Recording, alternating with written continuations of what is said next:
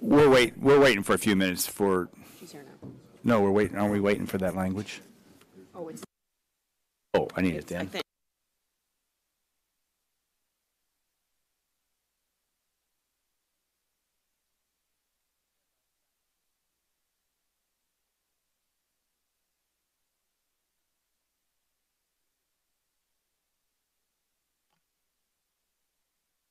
Okay. My gosh, we're out of control already. So, welcome everybody. I'm going to call the uh, hearing to order. The subcommittee will come to order, and the chair recognizes himself for five minutes.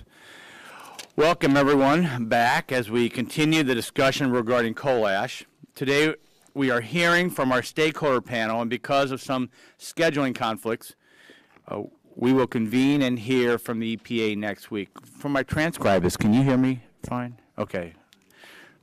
A couple months ago, we heard from EPA and stakeholders about the final COASH rule. We discussed the problems associated with the im- implementation, in particular, the fact that the, the final rule is self-implementing, meaning that there will be no regulatory oversight and no enforceable permits.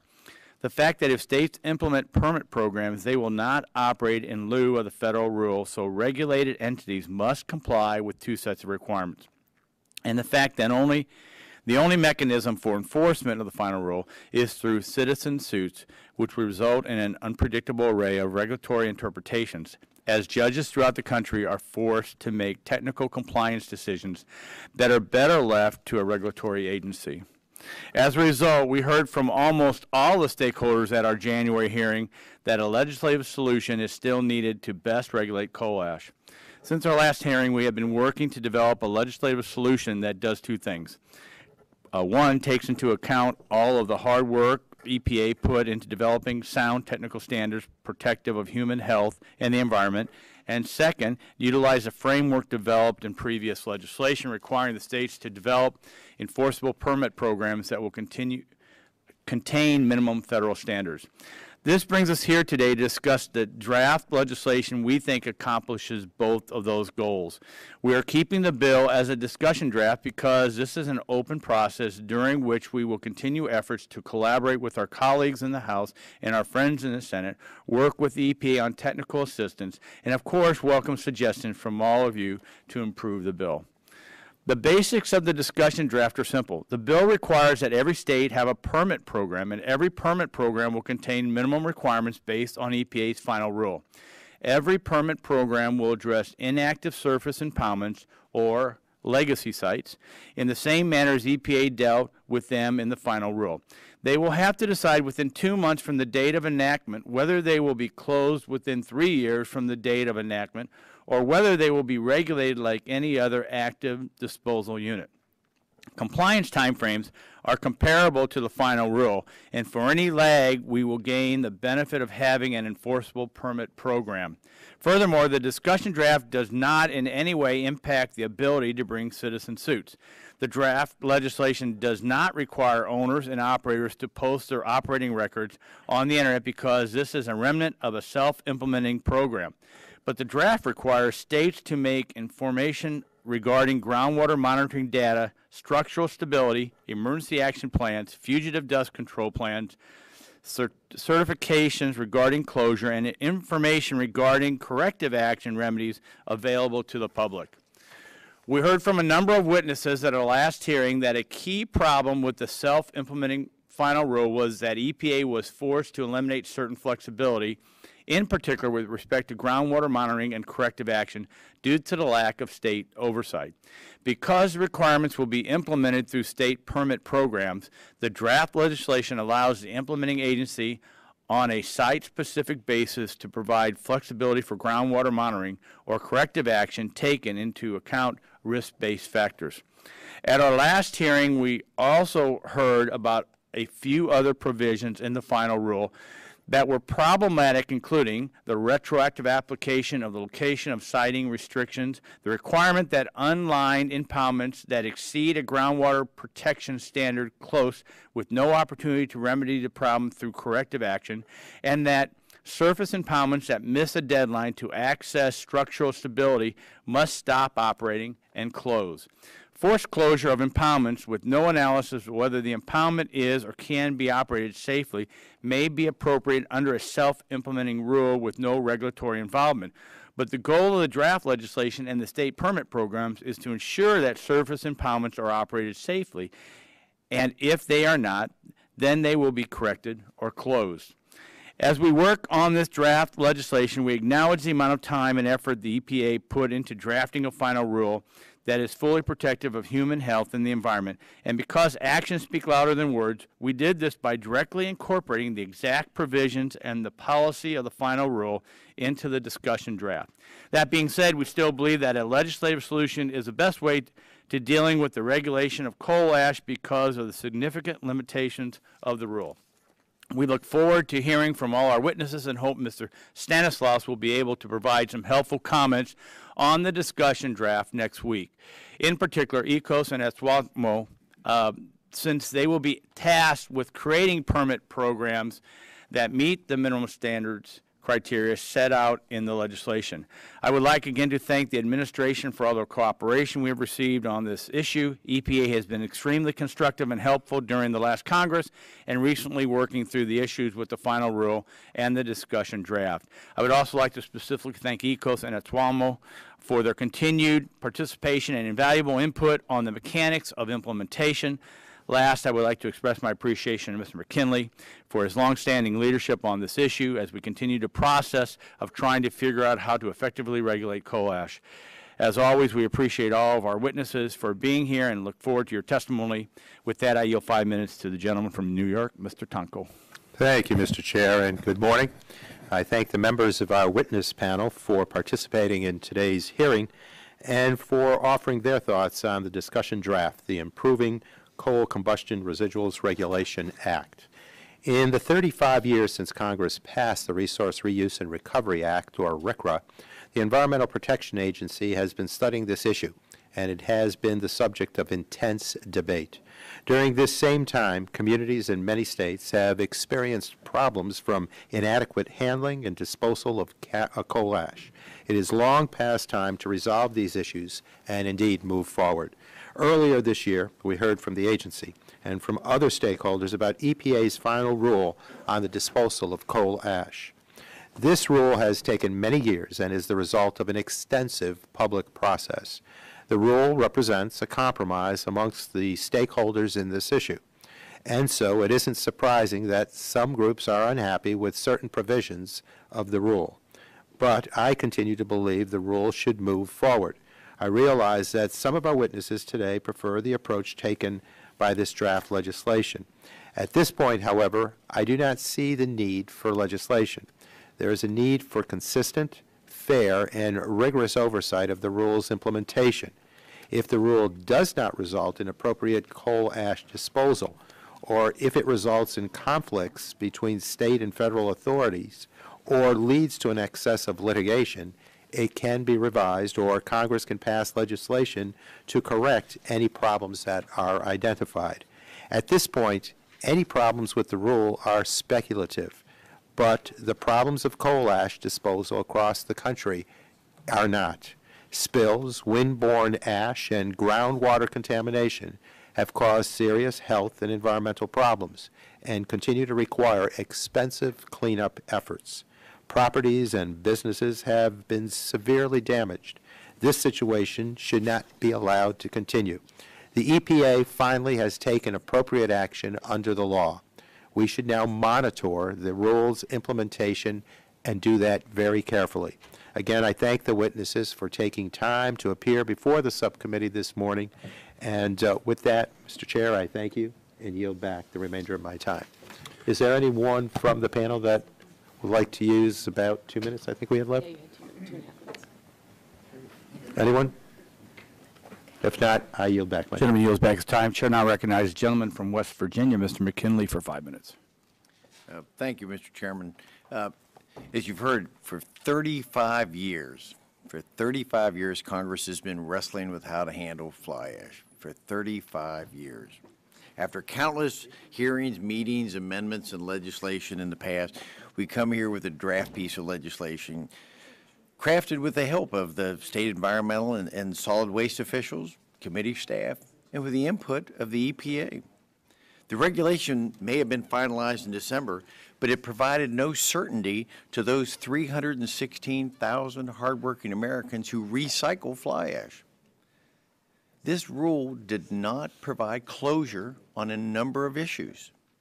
It is simply not acceptable to the status quo. However, what is accepted, or what is acceptable, what is acceptable is the legislation before us, this draft piece, ensures that the states have the flexibility they need to make the program work and are able to complete it within a reasonable time frame. This draft legislation guarantees that every state must, not may, must have a coal ash permit program. And it contain, and it must contain the minimum federal standards set out under the finalized rule. Bottom line, this legislation provides certainty, while the December ruling left the industry still scratching their heads. It would be responsible for this committee to continue to promote and push this draft legislation and work with all the stakeholders and the interested groups around this country to bring closure to this issue and end 35 years of unknown. I yield back the balance of my time. Uh, Gentleman um, uh, would yield back, I- but before he does, I would look to the Republican side to see if anyone would like to use the- remaining time. Seeing none on, even my colleagues on the, on the Democrat side, seeing none, uh, the gentleman yields back his time. I want to make sure that uh, y'all can hear out there, not just folks in the panel, but the folks who are sitting in the back, because usually there's some speakers. Uh, it's- The feed is working, but the spe, I don't think the speakers are working. You're working on it, okay. So for my, uh, for, so for the pa, for the panel, if you can use your, uh, military voice down from the diaphragm, uh, oh. Use your military voice down from the diaphragm. Uh, The, uh, before we go to the panel, I, I I neglected to recognize the ranking member of the full committee. That's a major faux pas. Uh, Congressman Pallone from New Jersey is recognized for five minutes. Thank you, Chairman Shimkus. This is the second hearing this Congress on the important topic of coal ash. In January, this subcommittee heard from EPA and stakeholders about the agency's new final rule. After years of debate at the agency and in Congress over the proper regulation of coal ash, the agency had reached a verdict. EPA's final rule reflects a tremendous effort, and it will, for the first time, provide the framework for addressing this serious environmental problem. This rule is the product of a robust public process, including field hearings and several rounds of public comment, and it reflects the input of over 450,000 consumers, including states, industry groups, environmental groups, and individual concerned citizens. In the end, EPA finalized a rule that addressed almost all the concerns this subcommittee has heard about for years. Those in the coal ash recycling industry who make things like concrete and wallboard, submitting substituting coal ash for virgin material had sought a non-hazardous rule under subtitle D of RCRA, and that is what they got. Those in the electric utility industry wanted a subtitle D rule that would not require them to retrofit their existing impoundments with liners, and that's what they got. And states wanted a mechanism to set up their own programs to implement federal standards and to have EPA approve them, and that is what they got. The only stakeholders who really did not get what they sought in this rule were the environmental and public health advocates who wanted a stronger subtitle C rule with a requirement that the giant unlined pits currently receiving this dangerous waste to be retrofitted to protect groundwater. Other than those calls to strengthen the rule, the reaction to EPA's rule has been positive. The agency testified that they have every confidence in the rule and do not see a need for legislation, and members on both sides of the aisle expressed their support. So I am surprised that we find ourselves here today considering legislation that would replace that rule before it has taken effect and undermine the robust public process that went into it. I'm even more surprised that the stakeholders who are here today expressing support for legislation are the same ones whose concerns have been addressed in the rule. I don't see a need for legislation at this time. Instead, I think EPA and the states should be allowed to move forward and implement the final rule subject to this committee's oversight. I do want to say a few words about this specific legislation that is the subject of today's hearing. This new proposal retains the problems of past proposals, which have been discussed extensively in the subcommittee. It would create a new model of delegation to states with a sharply curtailed role for EPA. It does not include a legal standard of protection, a substantive EPA rule, role in reviewing state programs, or EPA backstop enforcement authority. The new proposal presents additional concerns as well because necessary health protections included in EPA's final rule are left to state discretion or left out entirely.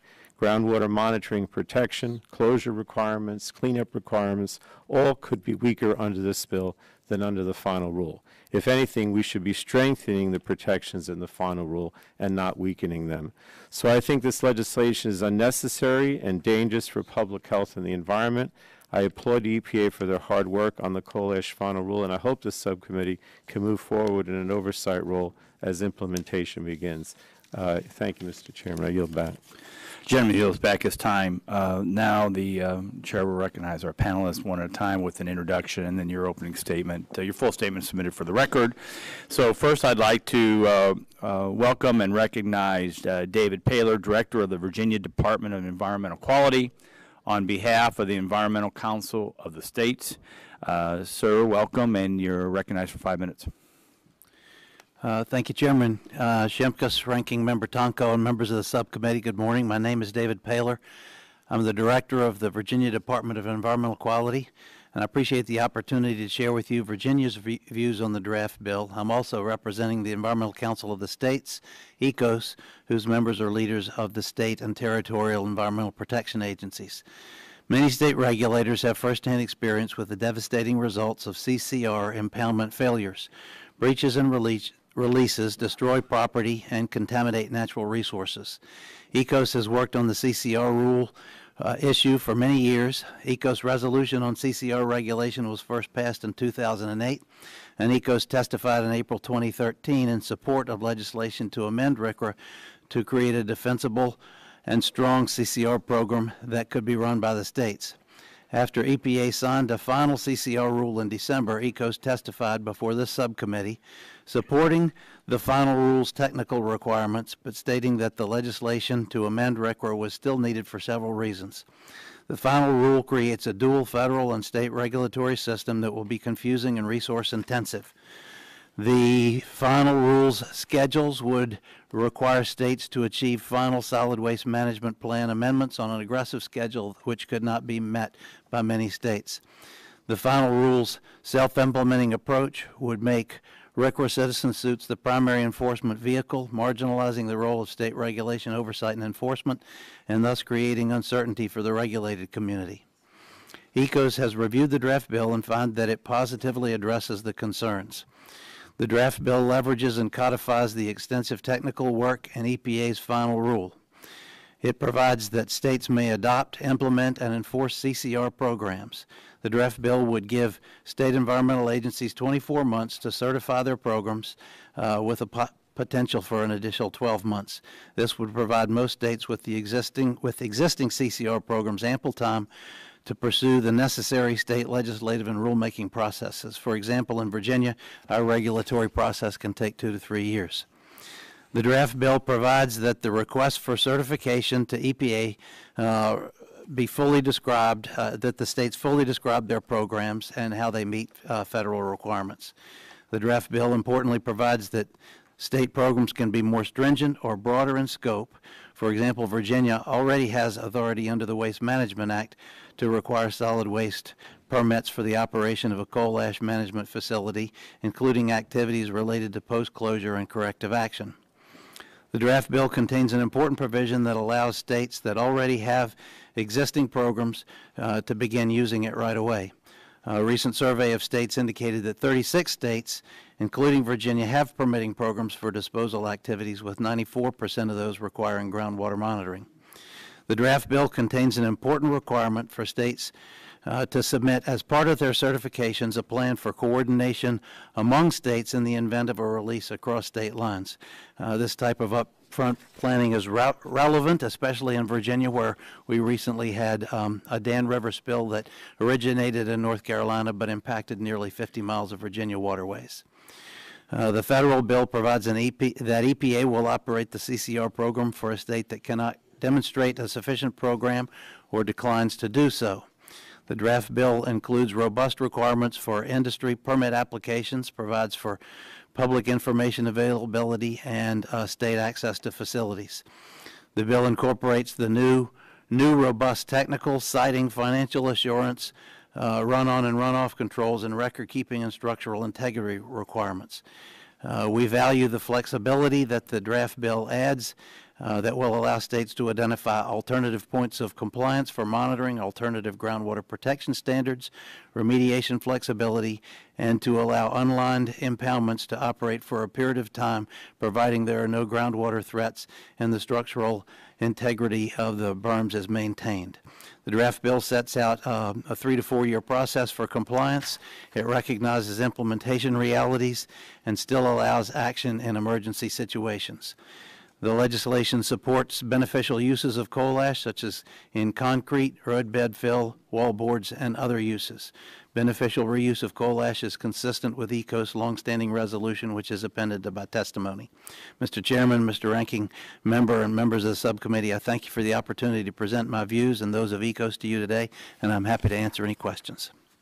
Thank you very much, sir. Uh, Now I'd like to uh, introduce Mr. Michael Forbeck, Environmental Program Manager for the Pennsylvania Department of Environmental Bureau of Waste Management, on behalf of the Association of State and Territorial Solid Waste Management Officials, which is the hard-to-say ASWAMO, or, so, so you recognize for five minutes.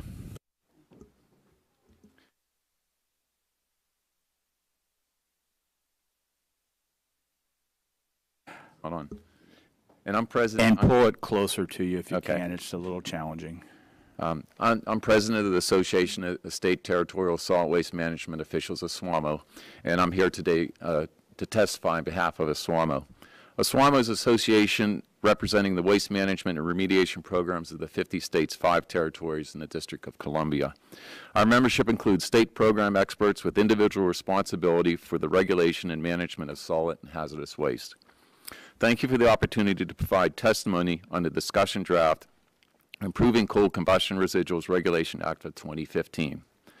Overall, ASWAMO believes that the discussion draft has successfully captured the essential parts of the EPA rule on coal combustion residuals management that are germane to the protection of the environment and public health, and has modified or added those areas that improve the rule. We also believe that the discussion draft has addressed the main concerns that ASWAMO expressed regarding EPA's final rule on CCR in a testimony before the subcommittee on January 22, 2015. While being in full agreement with issuance of the final rule on Subtitle D of the Resource Conservation Recovery Act, ASWAMO's prior testimony noted state implementation issues raised by the self-implementing construct of the RCRA Subtitle D, Part 257. The concerns we voiced are summed up as follows. The rule's self-implementing requirements will set up the situation of dual state and federal regulatory regime, even if the state requirements meet or exceed national minimums.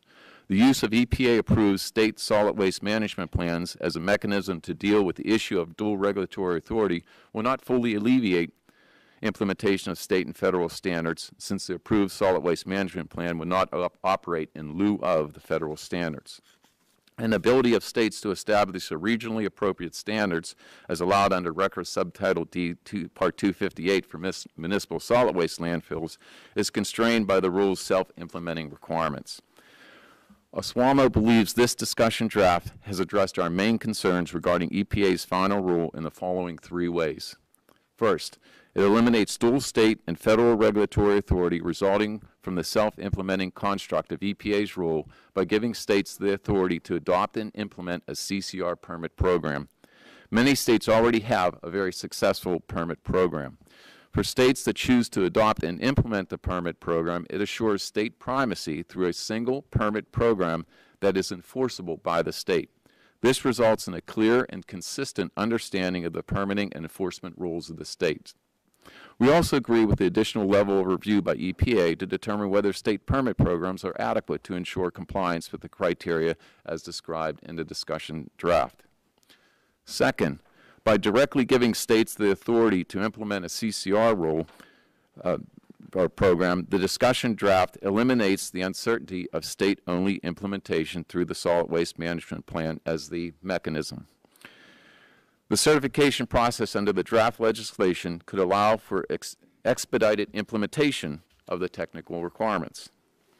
Third, we appreciate that the draft legislation allows the flexibility to the states to have regionally appropriate state standards for groundwater monitoring and corrective action. In addition to the draft, in addition to the draft legis- legislation addressing the concerns expressed in our previous testimony, ASWAMO is pleased that the legislation requires financial assurance for post-closure care of inactive surface impoundments to assure a long-term compliance with environmental and public health requirements. Financial, financial assurance is an important component in state waste programs, and ASWAMO has supported the inclusion of a financial insur- assurance as a key program element in the final EPA CCR rule under Subtitle D. We would like to offer to the subcommittee's consideration one modification to, to the draft legislation at this time. Under the agency authority for inspections, we ask that the subcommittee consider not limiting and implementing agency's authority to enter a site for purposes of inspection to only at reasonable times. This could be construed to mean during normal working hours. The timing of inspections should be at the discretion of the state to allow for after-hour inspections. Thank you again for providing me the opportunity to testify on this draft legislation, and I would be happy to answer any questions. Thank you very much. Uh, Chair now recognizes um, Jim Roewer, um, uh, the uh, uh, the Executive Director of the Utility Solid Waste Activities Group on behalf of USWAG, Edison Electric Institute, National Rural Electric Cooperative Association, and the American Public Power Association. Thank you. Recognized for five minutes. Chairman Shimkus, Ranking Member uh, Tonko, excuse me, he left. Uh, Members of the subcommittee, good morning. I'm pleased to present the views of the utility industry, USWAG, APPA, EEI, and NRECA on the Improving Coal Combustion's Residuals Regulation Act of 2015. When I testified at the oversight hearing before the committee on EPA uh, CCR rule, I made clear that while we support EPA's decision to regulate coal ash as a non-hazardous waste, there were significant flaws in the rule. Because the rule can't be delegated to the states, it's self-implementing, and regulated facilities must comply with the rule's requirements irrespective of whether it's adopted by the states. Since state coal ash regulations cannot operate in lieu of federal regulations, we must comply with dual and potentially inconsistent federal and state regs. This is unlike other federal environmental regulatory regimes, including EPA's Subtitle C Hazardous Waste Program, where Congress views the states as key partners in implementing and enforcing federal regulation and expressly authorizes the states to adopt and implement the federal regime in lieu of EPA.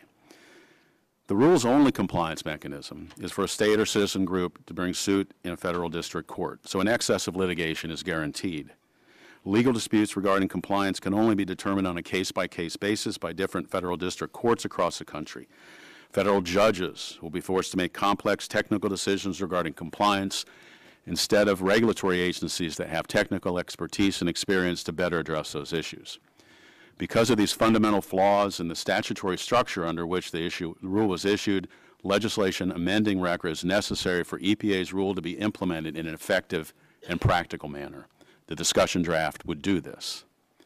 The bill would establish a permit program for implementation of the regulations issued by EPA, eliminating problems associated with the self-implementing nature of the rule.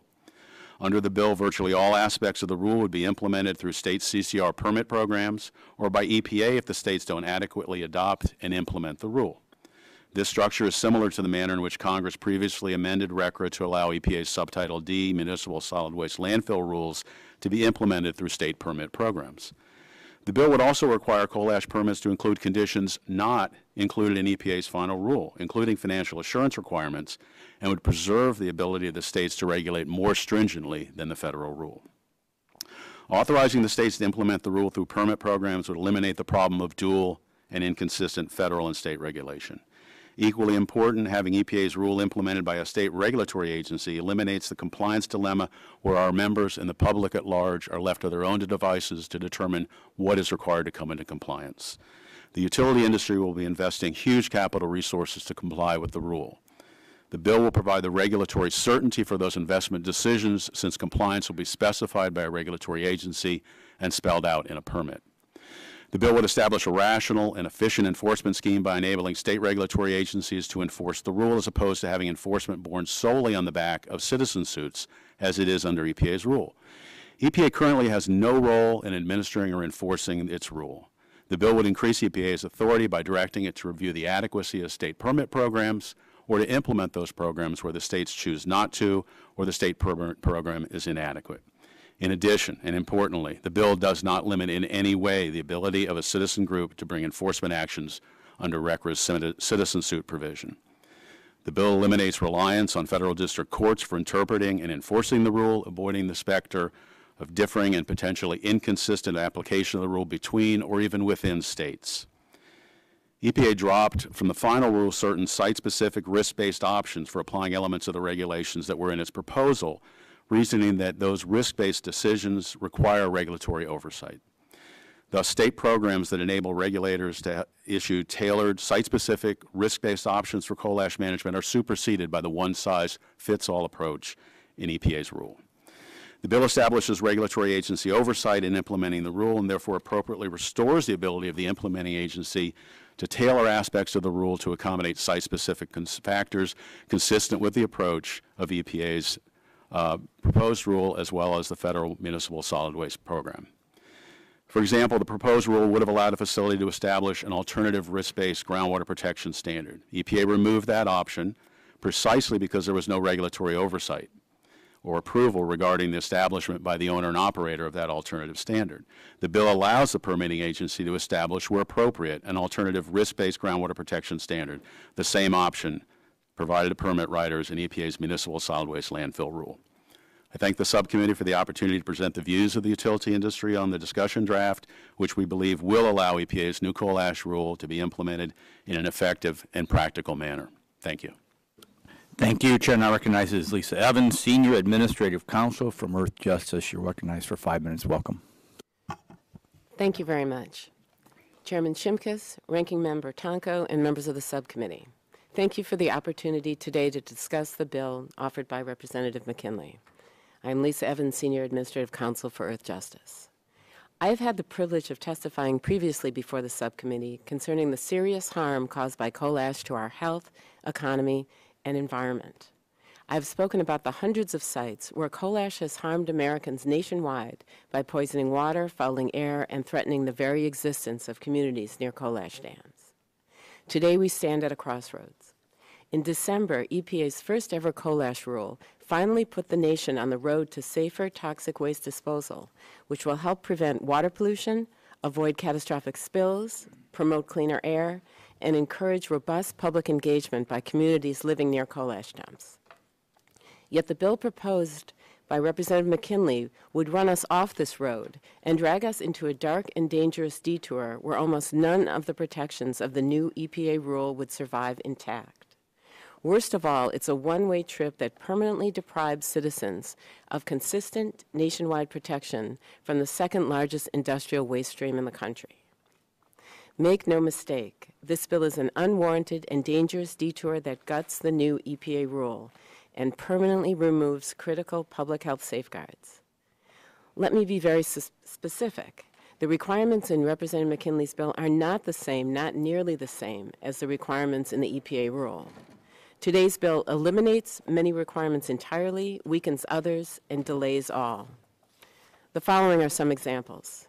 First, the bill will eliminate the guarantee of public access to information concerning contaminated sites and dangerous dams. Communities will likely be unable to find out if there are toxic chemicals in their water, spills in their neighborhood, or unstable dams above their homes.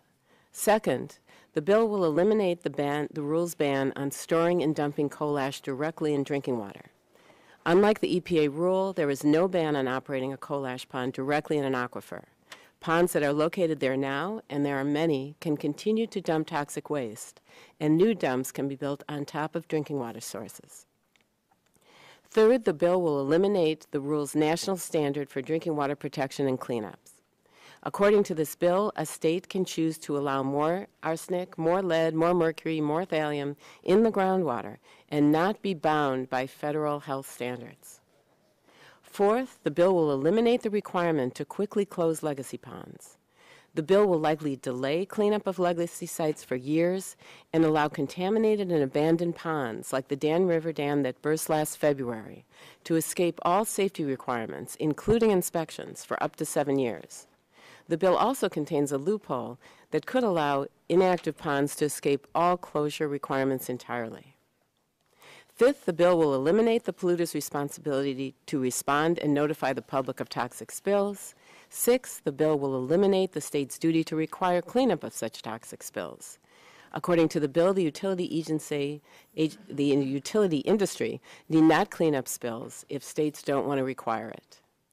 Lastly, the bill will permanently establish an inconsistent patchwork of state programs which need not meet any standard of protection for health and the environment and which will cause uncertainty nationwide. Undoubtedly, this bill will harm the health, economy, and environment of communities near more than a thousand coal ash dump sites. Yet last December, the EPA bent over backwards to satisfy the concerns of industry, recyclers, and states. It delivered a rule that characterized coal ash as non-hazardous, fails to ban continued use of unlined ponds, exempts beneficial use, establishes extended and flexible timeframes for compliance and closure, and regulates coal ash under the weakest of the three options proposed in 2010. In closing, I want to reiterate that I appreciate the opportunity to address the subcommittee. However, there are other voices that must be heard. Last week, 143 individuals and groups personally impacted by coal ash dumping sent a letter to this subcommittee requesting the opportunity to speak. The words of those actually harmed by toxic dumping are sorely missing today. If impacted community members were here today, citizens from Illinois, West Virginia, Pennsylvania, Missouri who live near leaking coal ash ponds, citizens from North Carolina and Virginia who live along the Foul Dan River, citizens from the Moapa Reservation in Nevada and the Nevada, the Navajo Reservation in New Mexico, whose air is thick with ash, these citizens and many others would ask this committee not to throw away this limited coal ash rule for essentially no rule at all. They would ask the committee not to delay and not to remove critical health protections for their families and communities. Today, I respectfully echo their plea. Thank you for your time, and I would be happy to answer any questions. Um, Thank you very much, and now I recognize myself for the first um, round of questioning. Um, And I'd just like to start, you know, the intent was to take the rule and codify it. And I think that's what we've been able to do. So It makes it, it makes it easier to comply with and understandable, and it does create consistency across the, across the country. And that was the intent. We specifically took EPA language in the rule on the exact language on design requirements, post-closure, air criteria, record keeping, runoff, run-on and runoff controls, hydrologic and hydrologic capacity requirements, and inspections. Those are aspects that we took the exact language in the rule. So, you know, I just appreciate the work that we've done to try to move in a direction where we're working with the EPA, uh, take their rule and make it stronger. And that's the, really the position of the, the majority on the subcommittee. So, uh, Mr. Paylor, does ECOS support the approach taken in this draft legislation? Yes, I uh, believe that uh, ECOS does uh, support it, and um, it's for the reasons that you mentioned, that it uh, takes the EPA federal rule, which we believe uh, um, was a positive step forward, and uh, addresses some of those additional concerns like uh, dual uh, oversight and uh, financial assurance. In your opinion, does the draft legislation address the implementation issues associated with the final rule, including, as you just mentioned, dual regulation systems and the enforcement only through citizen suits? Uh, Yes, I believe it does address those. Yeah, and that's part of the debate on this legislation. The way the rule comes out is the only way you really can get enforcement is through the courts, and every federal district court around this country, which are in the hundreds, could then enforce a different standard than what a national standard or a standard working through the states. Is that your understanding, Mr. Paylor? I believe, I believe that uh, this um, would create a, a- a uniform standard across the country, and that's one of the strengths that it provides, yes. Uh, Mr. Forbeck, do you agree with that?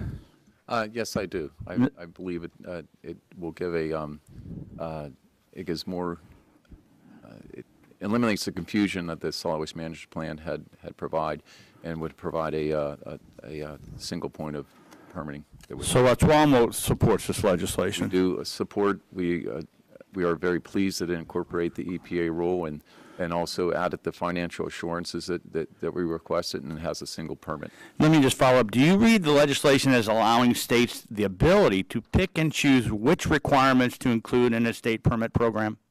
No, I do not. There are minimum s- standards or permit requirements uh, that the states would, And the minimum of standards, as you evaluate this draft legislation, comes from where? from the EPA rule.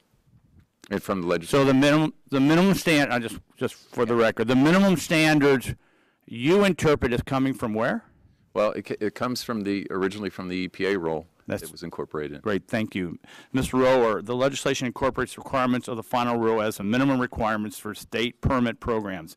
Many of the requirements are incorporated directly with no revisions, as I read earlier. There are, however, a few places where the legislation allows the implementing agency to tailor the requirements based on on-site specific risk-based decisions, in particular with respect to groundwater monitoring and corrective action. Can you explain why this is important? Yes, thank you. Uh, EPA recognized the legitimacy of tailoring those regulations. There's extensive discussion of that fact in the preamble, but then backed away from that, recognizing there was no federal or no regulatory uh, agency oversight of that process. The legislation would allow the state regulatory agencies to tailor the regulations to address specific, site-specific concerns associated with coal ash management. What, what could be different? Well, one of the things would be a groundwater protection standard, for instance. Um, EPA would default to the background, the groundwater protection standard under their self-implementing rule. Where there is another state or, or federal uh, uh, health-based standard, the state regulatory agencies can, can apply that in lieu, if there's no MCL, to establish an alternative groundwater protection standard. Not leaving, EPA couldn't leave that to the owner and operator. That does need regulatory agency oversight, and the bill appropriately sets up a mechanism for the states to take that uh, approach. Great, my time's uh, close to expiring. Uh, Thank you very much, and I recognize Mr. Tonko for five minutes. Thank you, Mr. Chair. Uh, For far too long, communities have been subject to the uh, serious risks associated with inadequate coal ash disposal. Coal ash releases have polluted our air and water supplies, and structural failures have devastated communities and resulted in very expensive and very complicated cleanup efforts. EPA's final rule will go a long way, I believe, to address these concerns. Uh, This bill appears to reverse this course, eliminating some of EPA's minimum requirements and weakening or delaying others. Uh, Ms. Evans, um, how do the bill's location requirements measure up to those in the final rule? And uh, if they're not the same, why is that difference important? Thank you, Representative Tonko. Um, the location standards differ radically from the location standards in the EPA rule. Uh, one of the most important uh, restrictions is the placement, the prohibition against the placement of ash within five feet of the groundwater table. In other words, you can't place ash uh, any longer within five feet of a potential drinking water source.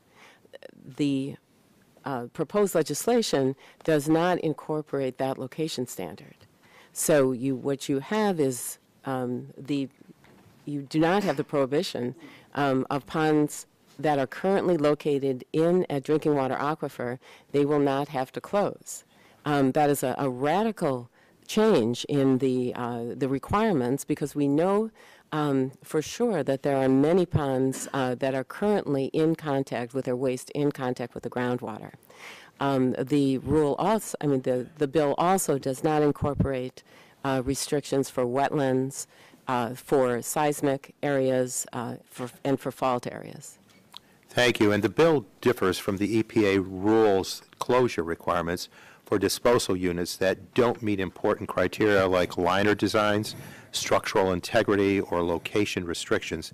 The bill keeps these facilities open, allowing deficient structures to continue to receive waste for years. Ms. Evans, how do the closure requirements of the bill compare to those in the EPA rule?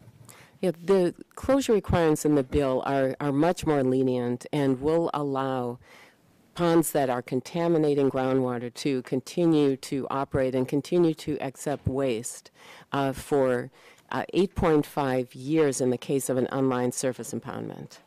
Um, and this, of course, endangers those communities near those impoundments that are reliant on, on drinking groundwater. Um, EPA has identified unlined ponds as being uh, the most uh, dangerous way to dispose of waste. And when you allow online ponds that are leaking above a health standard into groundwater to continue to operate uh, for 8.5 years, uh, that certainly is not the same requirements as you had in the EPA rule. EPA rule would require um, the, the ponds to cease accepting waste within six months and close. And so the uh, requirements under EPA's rule, Uh, as indicated, will take effect much more quickly than those under the, under the bill? Absolutely. Communities are looking forward to the application of the requirements as early as September. Um, many requirements are in effect six months from the date of publication. Uh, if that's at the end of this month, we're going to see uh, relief for uh, contaminated uh, air, contaminated air quality from dust. Um, we're going to see public information posted on utility websites. Um, we will see the initiation of inspection at high and significant hazard ponds uh, on a weekly basis and a monthly basis. So communities will get immediate relief from the EPA rule. Um, and under the bill, uh, this relief is going to be laid be delayed at least two to three years, and in probably in most cases much longer. And the um, requirement that, as you indicate, facilities can post operational and compliance data on a publicly available internet site without exception. Um, This both incentivizes industry compliance up front and empowers local citizens with information they need to keep an eye on what's happening in their communities. How important are these uh, public disclosure in EPA's rule? Uh, the, the public disclosure provisions are critical to EPA's rule, and EPA rule is explicit as to what has to be posted. The difference in the bill is that there are general public participation or public notice provisions, but it gives states discretion on how they require that information to be um, to be made public. Um, currently, information in many states is made public, but it's at state agencies where citizens, at great difficulty and great expense, um, must uh, request a file review, often wait a substantial amount of time, and spend a significant amount of money obtaining that data.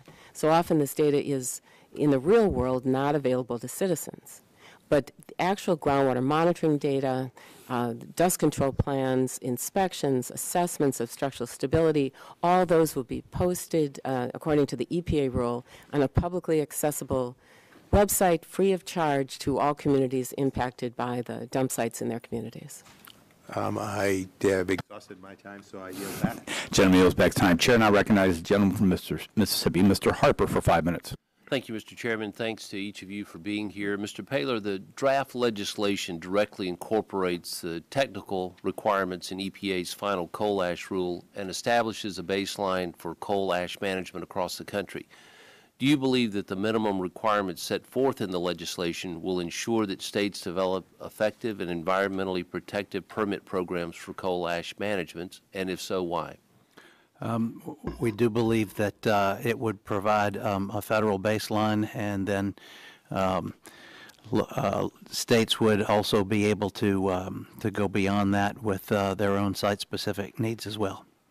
The bill contains uh, provision requiring states to develop plans for coordination among states in the event of a release that goes across state lines. Why is that important? Well, it's important to Virginia because we recently this year had an experience where uh, there was a release in North Carolina. The majority of the stream impact was in Virginia. And so the ability to, for states to have some upfront planning and coordination uh, would just streamline the process should we have another uh, unfortunate incident like that. Would the gentleman yield? on Yes, that? I'll yield. I- i- Is that in the current EPA rule? Not to my knowledge. Does anyone know? I, I- don't think it is. Thank you. I yield back. Thank you, Mr. Chairman. Uh, Mr. Paylor, your written testimony notes that the draft bill includes the new robust technicals uh, uh, siting financial assurance, run-on and run-off controls, uh, record-keeping, and structural integrity requirements published by EPA uh, in the final CCR rule, and that EPA did a very good job developing the technical requirements of the final CCR rule. Your written testimony also states that you value the flexibility the draft bill adds. Can you explain why the added flexibility is a good thing? Uh, The added flexibility is important uh, primarily because of um, uh, being able to deal with site-specific issues, especially when you're looking at uh, groundwater uh, contamination, issues of groundwater flow, and uh, nearby receptors and everything are are very important. Allows you to tailor your response uh, to the site rather than a one-size-fits-all approach. Okay, and your written testimony also states that the draft legislation provides a federal backstop. Would you please explain to us what that means? Well, the federal backstop means that there is um, enforcement authority at the federal level should um, the state uh, not meet those standards, and so therefore uh, you've got the uh, the state authority. But if that if that fails, the, federal government can come in and, and take action. Why is it important that the draft legislation allows for the pre-approval of a state, uh, state permitting program? Well, a state permitting program uh, provides uh, certainty. It provides uh, uh, the ability to have site-specific um, requirements on that uh, particular um, uh, facility, and it provides um, uh, more clear enforceability. Okay, thank you very much. Mr. Uh, Forbick, uh, states have previously demonstrated the ability to implement permit programs very similar to coal ash. So is EPA approval necessary before states begin implementing coal ash permit programs? And wouldn't EPA program approval unnecessarily delay implementation of coal ash permit programs? I think the certification program that's uh, within this, uh, this draft would actually expedite um, implementation of this, of these requirements of the rule. And states that have proven programs, uh, have proven programs and uh, permit programs can um, continue them with CCRs. And, and, and uh, in Pennsylvania, we have a very success, successful program that's, we've done for many, many years. Thank you, and I yield back the balance of my time. Gentleman yields back his time. Chair now recognizes gentleman from California, Mr. McNerney, for five minutes. Thank you, Mr. Chairman. I, I want to thank my colleague um, for his efforts on this, on this uh, issue. Um, I believe I heard two concerns consistently from the first three witnesses. One of them was that the uh, main enforcement mechanism is citizen lawsuits, and that that would bring uncertainty and so on. Uh, And the other one, and I'm a little confused about this one, is incons- uh, that it would establish inconsistent standards across states, while at the same time giving states flexibility, which seemed to be something that, like, uh, you're shaking your head there. Mr. Ort, did you disagree? The inconsistent application of the rule, uh, Congressman, is due to the interpretation of the rule by the federal district court judges, not inconsistent as per uh, uh, application and enforcement by the state regulatory agencies. At least in my testimony, the concern for a potential patchwork of interpretation stems from the self-implementing citizen suit enforcement structure of EPA's rule, not of the legislation. The legislation solves that problem How does it solve it? by having the federal standards prescribed in the rule that are EPA's rule implemented by the state regulatory agencies. There is a federal floor under which the states cannot drop. But, I mean, uh, uh, well, um, my understanding is that there's a lack of a standard of protection uh, in in the, in the legis- proposed legislation. Would you address that, Ms.? Well, E- EPA developed, oh, excuse me, I'm sorry. Yes, uh, this bill, uh, like the other uh, bills uh, proposed by, by um, Representative McKinley, lacks a protective standard of protection, and this was pointed out numerous times by uh, CRS. what that means is that there really is no federal floor that, that Mr. Roewer is, is describing. Um, states are free to interpret the terms um, uh, that are not defined. They can define their own terms, um, and they can run their programs without oversight that has a standard of uh, protection of human health and the environment. The standard of protection of human health and the environment is, is a watchword of RCRA. It applies in all of RCRA's programs, except it, if this bill passes, it won't be applied to coal ash. Um, and this is a, a very dangerous omission because EPA uh, essentially will have uh, very narrow oversight is to be uh, completely ineffective. Because if an agency can't look at a state program and say these permits don't protect human health and the environment, therefore this is a deficient program, their oversight will be meaningless. And essentially, this is exactly what the bill says.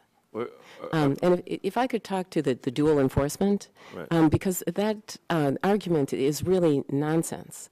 Um, what under RCRA, uh, the RCRA citizen suit provision, um, either states or uh, citizens, when uh, filing a citizen suit, are in federal court. They're in federal court if it's a hazardous waste uh, violation. They're in federal court if it's a municipal solid waste violation. So RCRA has always operated like this: that you have federal courts interpreting state law. So the the problem that is raised by by USWAG in the states um, is really a problem uh, that ha- is really something that hasn't been a problem for all the decades that RCRA has been uh, RCRA programs have been in effect for for decades. So are you concerned about the, the, uh, the citizens' lawsuits being the main enforcement mechanism? Uh, I'm not. Uh, citizen lawsuits include the state lawsuits. So it's, it's not, when one says citizen lawsuits, what that means is citizens or the states are free to enforce, under the EPA rule, are free to enforce the EPA rule. States can go in and enforce those provisions as well. So any citizen suit that is brought, it's required that there be 60 days' notice to the state. If the state wants to be the main implementing agency and wants to interpret its own regulation and enforce its own regulation, it is 100% free to do that. A citizen can't slip in with a lawsuit. They have to give 60 days, and if the state wants to maintain, uh, be the, primary enforcing uh, agency and maintain 100% control over the program, a state can bring that enforcement action, can enter a consent decree, and there will not be a citizen uh, lawsuit by a citizen group. Okay, I don't know if you have enough time to answer this, but one of the things that you said concerned me was that uh, citizens wouldn't have the ability to, to determine the quality of the water that might have been contaminated. Uh, And that, uh, how could, how could uh, the, the bill prevent that from happening? Well, the bill doesn't make mandatory groundwater monitoring data. So what that means is a community that's on wells next to a coal ash pond or landfill would not necessarily, under the bill, have access to the groundwater monitoring data. So they couldn't go on a website and find out uh, what are the levels of arsenic, hexavalent chromium, lead. So they, but they could do it themselves, they could do the testing themselves, or have a laboratory do it if they Well, wanted to that's, pay for it. well, they wouldn't have access to the industry wells. They could test their own well, but some, but, you know, the purpose of RCRA is to prevent um, harm to health and the environment. So you want to find out what's in those industry wells, which might be, um, you know, a quarter mile from your drinking water well, before it gets to your well and your family. Gentleman's time's expired. Uh, Before I uh, move to uh, uh, Mr. Murphy, uh, Ms. Evans, you mentioned the CRS report. If you have one on this bill, uh, we'd like to see it. I think you're referring to previous bills of past Congresses. There's no CRS report on this bill right now. The, um, and there would be public disclosure through the state, and I just wanted to, with that, I yield uh, five minutes to Mr. Murphy. Thank you, Mr. Chairman. I appreciate the panel being here. Uh, It's a long-term issue we've got to to deal with directly. Uh, I I do want to deal with some uh, comments that Ms. Ms. Evans, you made, and and with regard to the bill fails to establish a protective standard. Um, I didn't hear from other panelists if they agree with that. Mr. Roewer, do you agree with that? The bill takes EPA's 257 regulations, their coal ash rule, and builds a CCR permit program based on those regulations. Those regulations, the 257 regulations, are developed by EPA with that, to meet that standard of care. So we mm. believe that the bill does provide that federal standard of care and a federal floor. Mr. Forbeck, would, do you agree that the bill fails to establish a protective standard, or will you disagree? Mm, I disagree. I believe it does establish a actual protective standard. Mr. Paylor? I, I would agree with those responses as well. Thank you. I mean, along those lines, I look upon it that state legislators and regulators have the authority to do some things. Uh, Ms. Evans, one of the things you're raising question with is it may get in the way of people being able to bring up uh, court cases. Uh, Does it interfere with that? Am I understanding you correctly there? Um, If I understand your question, the state and citizens stand in the same legal place in that if an industry under the CCR rule is violating any of those requirements, it can bring a suit to enforce the EPA rule. There's, there's nothing in the EPA rule that would stop states from um, fully adopting, fully enforcing that rule. Um, And as um, one of, uh, I I think it was um, the gentleman from ECOS, has said that uh, states are ready to do this within two or three years. Okay. Uh, Mr. Forbeck, uh, so based on your experience, will this draft legislation being discussed today result in a more effective implementation of requirements of the final rule than the self-implementing program, and why or why not? I believe, it- as I said in the testimony, it would be very, it'd be more effective. One, it has a, as a single permit program, we have a, a, the state that will have the uh, jurisdiction and the um, enforcement capabilities of, of, of, of uh, enforcing the, this rule. Um, In addition, the, uh, the uncertainty of the solid waste management plan as a mechanism for implementation is no longer there. We have this permit program that, that would be in effect. Um, And I, and, and So, I mean, Pennsylvania has a very robust coal ash program, am I correct? that's correct. And uh, would you have to develop any new requirements or make changes to existing requirements based upon this draft legislation?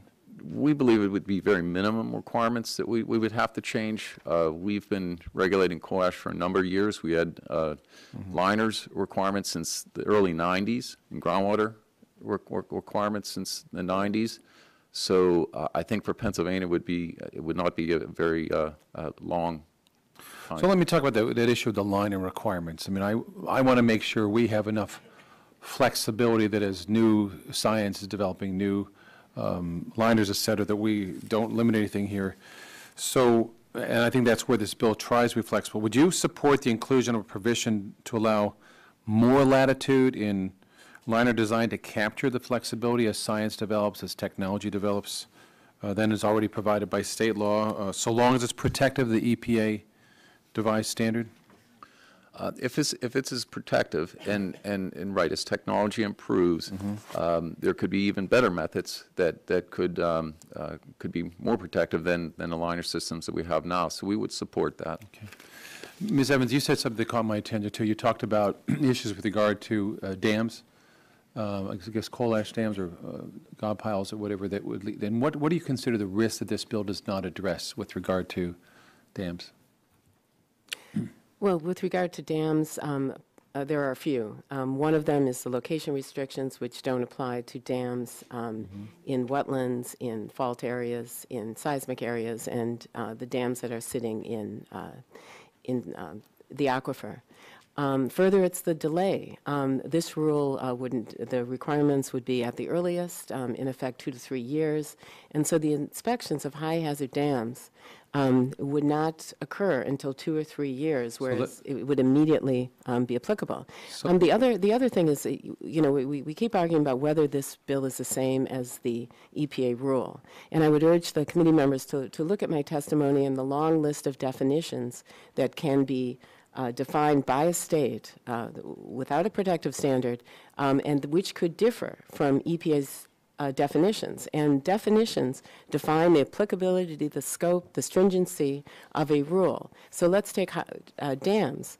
Uh, The I'm. I'm out of, I'm out of time here, Oh, can I, can I just say that the, the uh, states can define hazard potential dams differently, uh, well, ad- as they wish, because it, that is not a definition in the bill. So they could exempt some higher significant hazard dams from those categories, and thereby l- uh, those more stringent requirements for those more dangerous dams would not be applicable. Thank you. Gentleman's time. Could I just ask that, uh, in the, if you- uh, we could ask for the record, the other panelists to be able to respond to that question, too? Without objection. Thank you. So ordered. Uh, Chair now recognizes uh, gentleman from Ohio, Mr. Latta, for five minutes.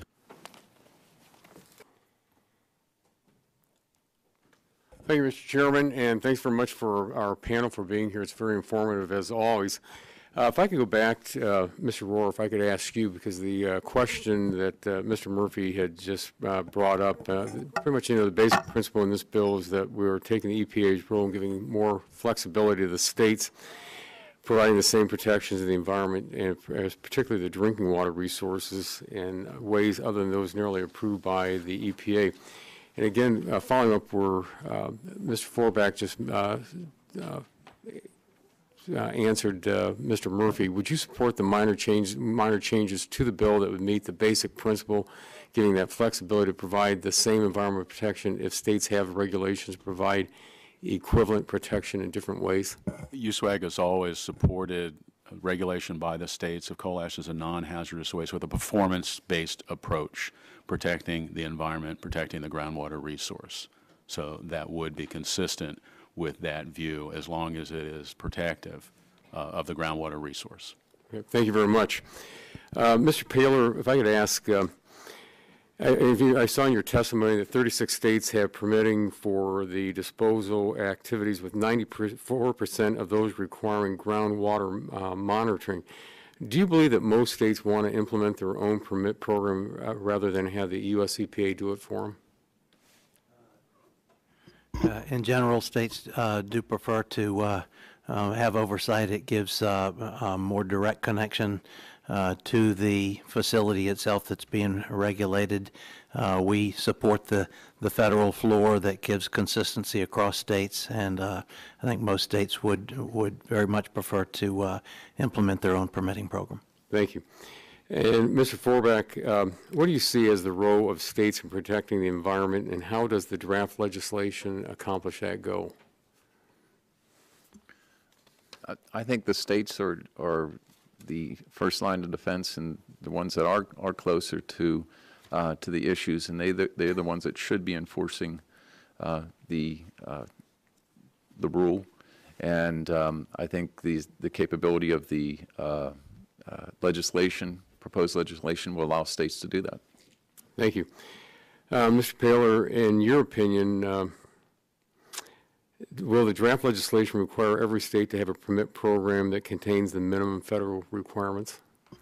Uh, It does not require uh, every state to do that. However, if the state uh, does not have uh, uh, rules that meet the federal standard or opts out on their own, then the federal government would step in and, and uh, enforce those rules. If I could just follow up again, uh, Mr. Paylor, in your written testimony, uh, you note that the draft legislation lays out a three or four-year process for compliance by regulated facilities, uh, but you note that the bill recognizes the implementation realities and still allows for action in emergency situations. Um, Could you explain that? Um, Each, um, each impoundment is going to have its own uh, uh, site-specific uh, concerns, and just the logistics of uh, identifying uh, what it takes to comply and, uh, and implementing that is going to take some time, plus it's going to take uh, um, a couple of years for um, the states to get uh, their, uh, their rules in place. And so um, that that just recognizes the realities of the logistics to need to do that, and also um, allows for, um, if in fact you do have an emergency situation, you move immediately. Okay, thank you. And, uh, Ms. Roewer, uh, I know my time's running short here, but the rule requires retroactive application of the location restrictions to existing surface impoundments. Can you walk me through why this is important? We believe that it's unfair to apply retroactively the location restrictions. We can't move these impoundments. They are where they are. There are other provisions in the legislation that would address the concerns that are at the core of those location restrictions. We've heard there's no prohibition of putting ash directly into an aquifer. The bill contains groundwater protection standards, groundwater monitoring requirements. So the goal of the location restrictions to keep contaminants out of the aquifer are met through other implementation, uh, other aspects of the legislation. And indeed, the inspections, uh, the safety assessments uh, uh, will all address those same concerns that are being addressed through the location restrictions. Other elements of the bill do that. Thank you. Uh, Mr. Chairman, my time's expired, I yield back. Gentleman yields back. Chair I recognize gentleman from West Virginia, Mr. McKinley, the author of the legislation, for five minutes. Uh, Thank you, Mr. Chairman. The, um, it's a draft legislation, dr- draft piece. We're going to be working with this, and we're going to make some other modifications, I'm sure, to it. It's- going to continue to evolve in, in this process. It has to. Uh, But I'm just curious, uh, a lot of the comments, well, the majority of the comments that have been made to date have all been about location, drinking water, and the like. Uh, And, but we haven't talked about the recycling. And so let's put this all in context again. Um, We we generate, for the crowd that may or may not understand this, a lot of this issue, we're- we generate about 150 million tons of fly ash annually. But we recycle 40% of that. So all these, all this last hour and a half or two hours we've been talking about is the water. What about the recycling provision? What are we going to do? Because the preamble to the rule is, is troubling to me, and it should be troubling to everyone, because the preamble says this rule defers a final determination until additional information is available. That means that they could rule back to a C. They're D now. It could be a C in the future. It could be two weeks from now. It could be a year from now or two years from now. What we're trying to do is codify that provision so that we remove the uncertainty for the recyclers. 316,000 jobs are at risk.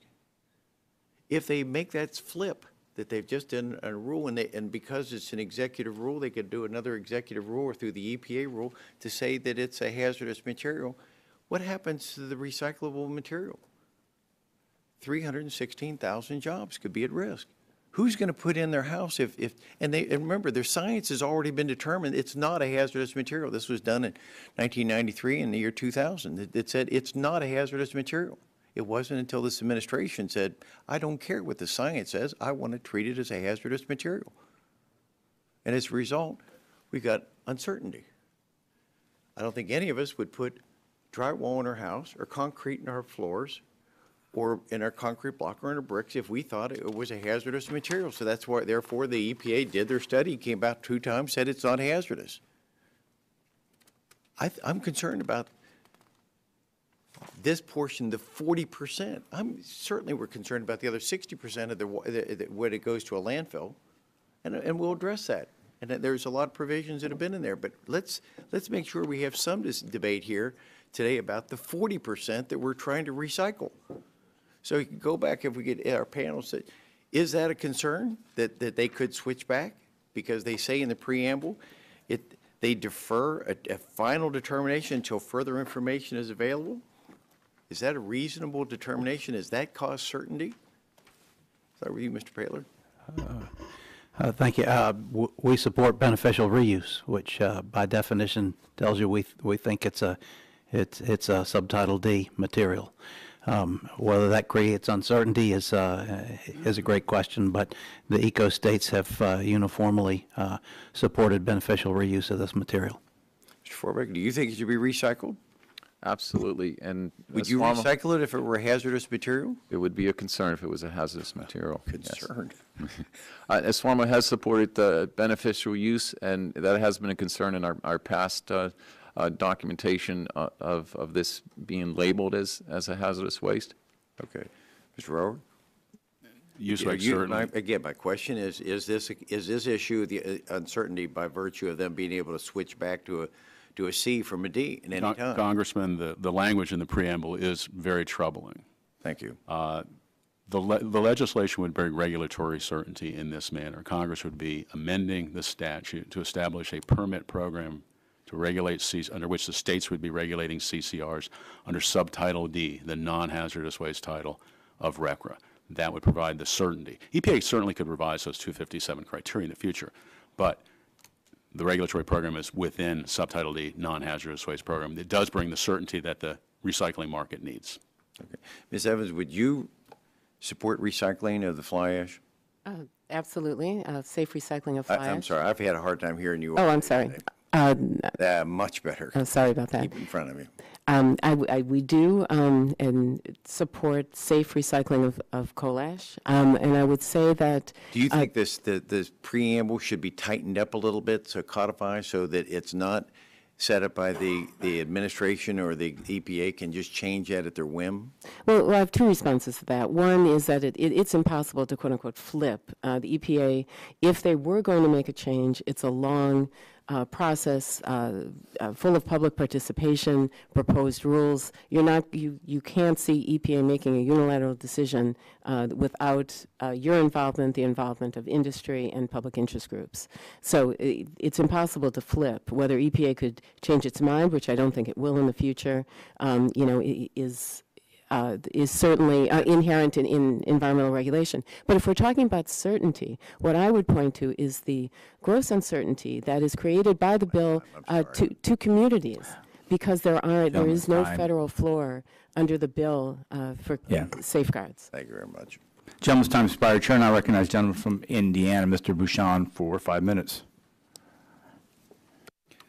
Thank you, Mr. Chairman. Um, um, Ms. Evans, do you, do you believe we should burn coal to generate electrical power?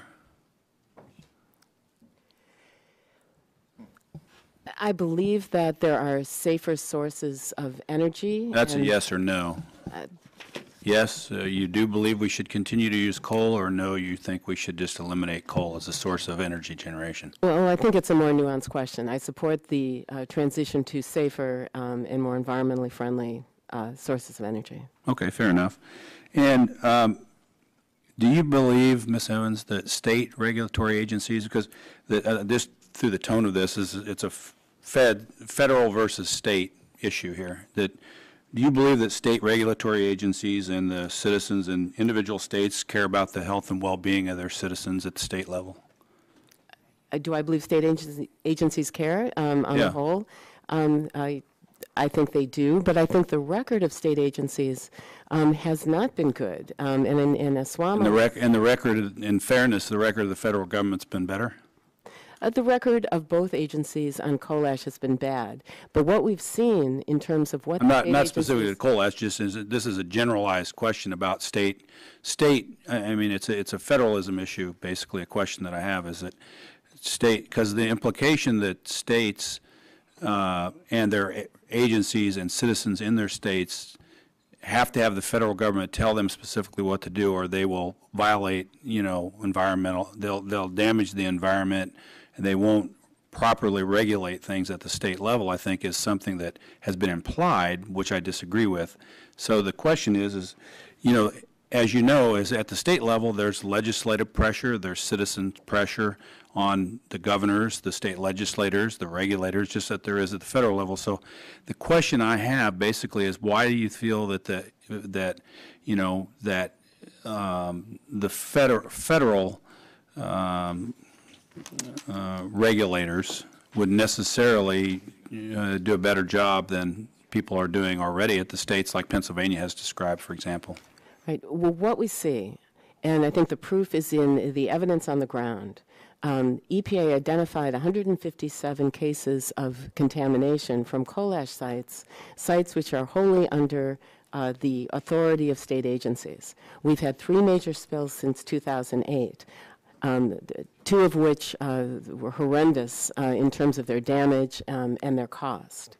Um, and it's lucky that no lives were taken that record uh, indicates that state agencies are not doing their job um, as Well, I far would as disagree is because concerned. I was a And health. then- Wait, and I then mean, to no, let- I'm, to- I'm reclaiming my time because I was a healthcare provider before. You may, you probably don't know that, and um, you know, there's no no system in healthcare. You know that we when we provide healthcare to patients that that is perfect, and every once and every once in a while, if you understand statistics, things do occur. So I think the overall implication that that because there have been some disastrous spills, uh, in total agreement with you on that, that that means that state regulators are not doing their job, I think is an unfair assessment. Uh, and that the, the, so the question is, is again, compared to the, this draft legislation, you know, and what the EPA has done, why do you think that there, do you think that, that the federal government will be able to eliminate all the spills and other problems that you have? Because statistically, right, no matter what industry you're in, there's nothing that's 100%. Right, but the damage does indicate that on their watch, the state agencies have failed. If you compare the municipal solid waste uh, arena, where the state agencies are, have a authorized program that has a federal floor and has a federal standard of protection, you're not seeing the same kind of contaminated groundwater near municipal solid waste landfills as you are near coal ash sites. So yes, when there is a federal federally approved program, when it's got uh, specific standards, and when states have to be authorized to have standards as stringent as the federal standards, that can. Re- Reclaim my time. Mr. Roewer, can you respond to what she just said? Congressman, I think comparing a situation prior to a federal standard that would be implemented through this legislation is inherently unfair. If you're comparing previous performance uh, by the state regulatory agencies when there isn't a federal regulation, which is what this bill would do, uh, just is not appropriate. Thank you. I yield back my time, Mr. Chairman. Gentleman yields back his time. Uh, Chair now recognizes gentleman from Texas, Mr. Flores, for five minutes. Thank you, Mr. Chairman. I thank the panel for joining us today. Uh, Mr. Roewer, the draft legislation treats legacy sites in the same way that the EPA did under the final rule, and that is that inactive impoundments must, must either close within three years or become subject to all of the requirements to an active disposal unit.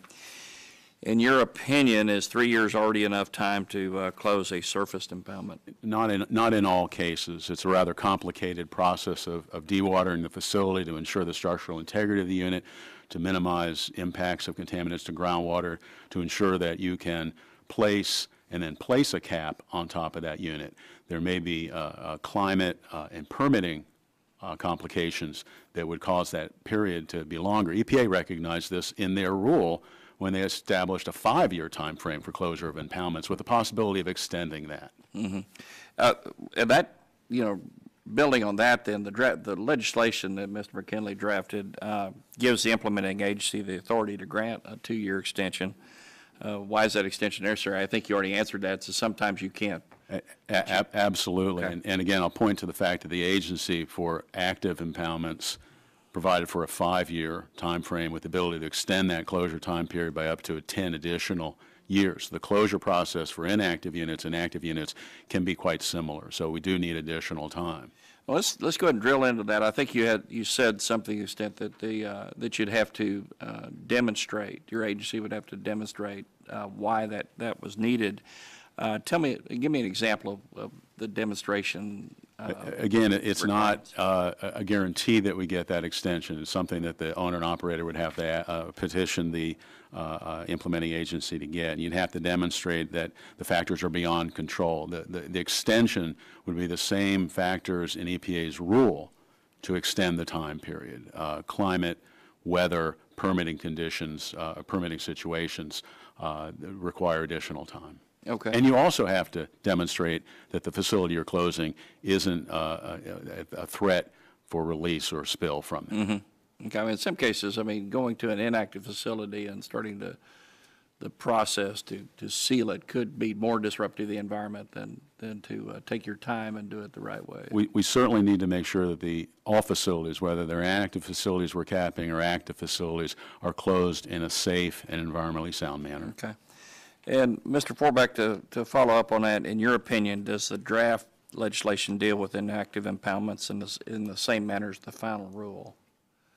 It- It does deal with it very s- similar, it- but it does allow some extensions based on the conditions that uh, Mr. Roewer ex- And those are important conditions. I mean, Yes, they again, are. disrupting an inactive facility prematurely without adequate uh, planning could be more harmful for the environment. Mr. Forbeck, did the final rule require regulated entities to provide financial assurance for corrective action, closure, and post-closure of coal ash disposal units? The EPA rule did not. Okay. And so doesn't this legislation actually go further than the final rule by requiring financial assurance, not just for active disposal units, but also for inactive surface impoundments? Yes, it does, and we feel that's a very important component of this Okay. legislation. So thank you for your, uh, for joining us today. I yield to any other Republican members the balance of my time, or I'll yield back. Okay, I yield back. Gentleman yields back. Chair now recognizes the ranking member of the full committee, Mr. Pallone, for five minutes. Thank you, Mr. Chairman. I I wanted to first ask Mr. Paylor, uh, you mentioned earlier, um, I wasn't here, uh, I was at the other hearing, but you mentioned earlier that citizen suits would be the sole method of enforcement under the EPA rule, but EPA strongly encouraged states to incorporate the new federal criteria into their own state solid waste management plans. So do you expect at least some states uh, will incorporate the new federal standards into into state programs? And if states adopt these requirements, do you expect them to enforce the requirements? Um, It is uh, certainly possible that some states would, uh, uh, would adopt those. There would not be a uh, permitting mechanism, however, and it would be subject to a one-size-fits-all um, uh, situation. So um, there might be some spotty enforcement by states, but, uh, um, but as a whole, the, uh, the, the uh, one-size-fits-all approach to uh, federal regulation uh, would in fact uh, leave citizen suits uh, as the primary mechanism. Did you want to comment on that, Ms. Evans? Well, I think we, we've, I've read testimony from SWAMO that indicates that states, uh, that following the um, EP, EPA rule signing, uh, that states were ready um, and willing to implement those programs within the states. And states certainly can implement permit programs. The requirements have to be uh, consistent with the EPA rule, but they certainly um, can tailor permits and use their authority to run uh, coal ash permit programs, you know, subsequent to the EPA rule. All right, and then uh, I want to continue with you, Ms. Evans. EPA's final rule, published online in December, set a federal floor of standards for the safe disposal of coal ash for the first time, and the rule has been decades in the making. The final product was a result of a transparent public process and input from stakeholders, including significant input from the groups represented on today's panel.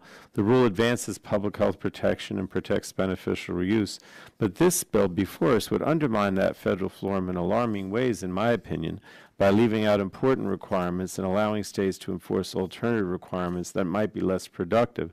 So do you agree that this rule, that this bill would undermine the federal floor established by the final rule? Uh, This bill absolutely undermines the federal floor and does not, um, and I have to repeat, does not incorporate uh, the standards in EPA's rule. It incorporates some of the standards, but again, leaves definitions up to the states which can radically alter the implementation and the scope and the stringency of the program. And what are the most important requirements that would be left to state discretion?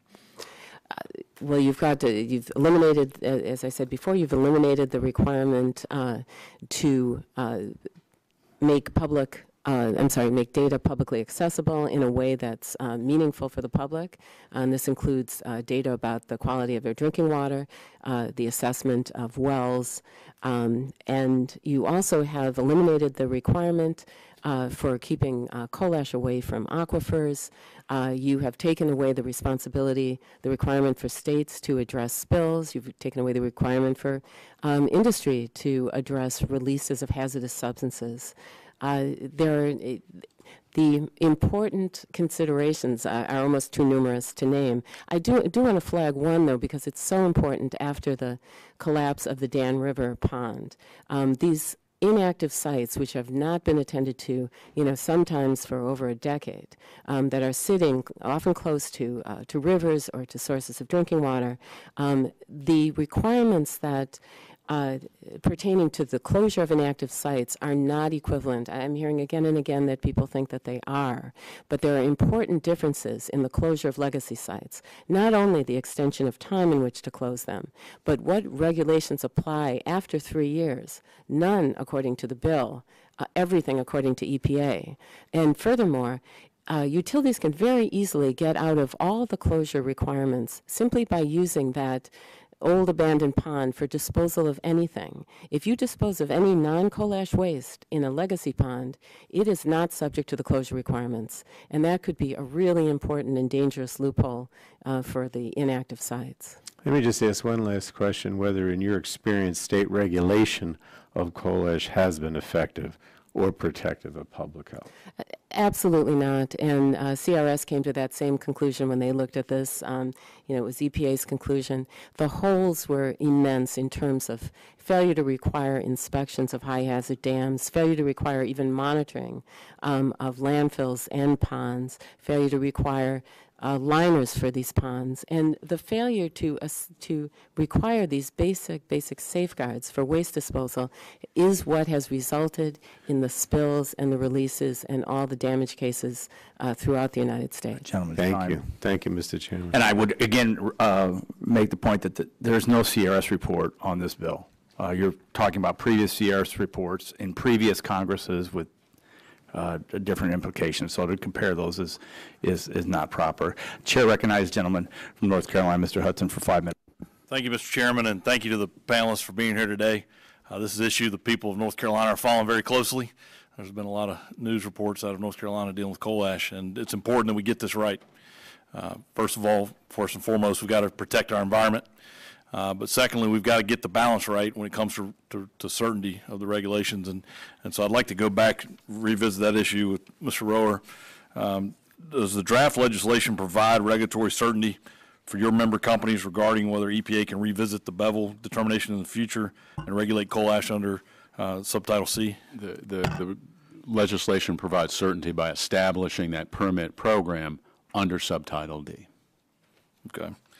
Um, And if an owner-operator misses the deadline to, uh, to complete a safety factor assessment or fails to meet the initial safety factor assessment criteria, the final rule uh, requires that the impoundment cease receipt of coal ash within six months and close within five years. Uh, Can you please explain why that's a problem, and does the draft legislation address this issue? Uh, In some cases, the design uh, and implementation of an engineering solution to allow a facility to meet that safety factor assessment may take longer than the 18 months EPA has provided in this rule. Uh, We support the application of structural integrity criteria to these units. We need, in some cases, additional time. We want to make sure these units can continue to operate. We're not asking that unsafe units be allowed to continue to operate, but that we be given time to ensure that the, these units meet the safety factors. I think you've addressed that maybe with one of my other colleagues, some of, but what are some of the factors that, that that make one situation take longer than another, for example? One one of the complicating factors is that these facilities are subject to permits by state regulatory agencies. And you got to get the approval from the state regulatory agency before you can do any work on that facility, and that can be a lengthy process. So, so in your, your testimony, need that flexibility? Absolutely. The legislation provides additional time for us to come into compliance with the, with the, the safety factors. And that's very important. The legislation does that. Right. Well, Thank you for that. Mr. Chairman, I, I would be happy to yield to you if, uh, if you'd like to use the rest of this time. No, I want you to yield back, and we'll let, go to Mr. Johnson. Great, thank you. Uh, Gentleman, this back his time. Chair recognizes the gentleman from Ohio, Mr. Johnson, for five minutes. Thank, thank you, Mr. Chairman, and I, I thank the panel for being here today, too. I associate my, uh, myself with the comments of my colleague from North Carolina. This is a, this is an issue that uh, the people of the great state of Ohio are monitoring very, very closely. We have um, a a tremendous number uh, of families that uh, work in the coal industry, that are dependent upon the coal industry for their livelihoods, uh, to support their families. Um, And Ohio still gets uh, in excess of 60% of its energy from coal. Uh, So it is, uh, it is a, a very, very important issue uh, for people in my district. Um, Mr. Forbeck, uh, the, the draft uh, legislation incorporates the definitions from the final rule, but allows the states to make changes that may be necessary to tailor the requirements to the needs of the states, but only if the state demonstrates that it has a reasonable basis for making the change. In your opinion, will the states be able to arbitrarily change the definitions, and does this minimize the protectiveness of a state permit program? No, I do not think the states can arbitrarily uh, change the definitions. As said, it has to have a reasonable uh, basis for those changes. Um, An example, uh, under Pennsylvania, for example, where coal ash is defined differently than what's under the the proposed legislation, it doesn't include flue gas desulfurization sludge. However, that, the FGD and the coal ash is included under our term residual waste. that residual waste is governed in the same manner as the, the coal ash is with the, the protective standards. So i- is it important then, uh, in your opinion, that states be able to adjust the definitions if necessary? In my opinion, yes. Okay. Um, Mr. Forback, also, will the draft uh, that you've read, uh, the draft legislation, would that require states to make information like groundwater monitoring data, emergency action plans, fugitive dust control plans, and the results of structural stability assessments available to the public? Yes, it will. Okay, we, uh, we'd heard some, uh, uh, some concerns about that. I, I wanted to clarify that. So all this data is going to be made available to the public? That's correct. Great. Um, In your opinion, as an experienced state regulator, do you think location restrictions should be imposed retroactively? I think it's important that the location restrictions are looked at at all facilities. However, um, there should be uh, availability for corrective action and for um, enclosure if issues do occur. It's, it's not possible, as I said, I think earlier, to simply move a facility out um, from a location standards. If there is reason to, or there's issues that's been, that, that have come up fr- from these, then maybe that is some corrective action. If there isn't, which we have seen in sites in, in our region, uh, where we've, we've had groundwater monitoring, et cetera, around a lot of these in- impoundments, that they are operating safely, even though they might not meet the s- location standards um, and have been grandfathered. Okay, thank you. Uh, Mr. Roewer, uh, the draft legislation also treats legacy sites in the same way EPA did under the final rule. Uh, Inactive impoundments must either close within three years or become subject to all of the requirements applicable to an active disposal unit. In your opinion, is three years always enough time to safely close a surface impoundment? No, it's not. That's a very complicated process, and we need to make sure that that closure is, is environmentally sound and safe. It can take longer than three years, given the size of the unit, uh, the requirements of dewatering it, and then constructing the cap in place. Okay. The draft legislation gives the implementing agency the authority to grant an extension of up to two more years to complete closure. Um, Why is the extension necessary, do you think? Uh, The Uh, extension. You just Yeah, the extension is part of that. necessary because we can't always get it done within that three-year time period. We want to close these facilities safely, and that extension would allow us the time necessary to do that. Okay. Um, But certainly, we're not going to do these extensions willy-nilly. What would, what would your members have to demonstrate in order to request an extension from the implementing agency? And specifically, if you could focus on the requirement that your members demonstrate that there is no immediate threat of release. The agency, EPA in their rule, has established uh, uh, the ability to extend the closure process for active units, and we'd have to show uh, the same reasons because of climate, uh, size, uh, et cetera, that we're required under uh, the provisions to allow an extension of the closure timeframe for active units, for inactive units. In addition, we would have to show that the facility is not a s- uh, a threat of immediate release. So we're not talking about allowing unsafe facilities uh, to continue, continue to stay there. We're, we're asking additional time to safely close these facilities. Okay, thank you very much. Mr. Chairman, I yield back. Thank you. Gentleman's time's expired. Uh, j- Or just a reminder, this is a legislative hearing on a, on draft legislation, and so as Mr. McKinley said, people who have comments or concerns and can still address uh, myself, Mr. McKinley, and members of this committee as we move forward. Uh, The hearing is going, is recessed until Tuesday, March 24th at 2 PM in room 2123. The witness will be EPA Assistant Administrator Matthew Stanislaus, a good friend of the committee who's been here numerous times. With that, I uh, recess this hearing.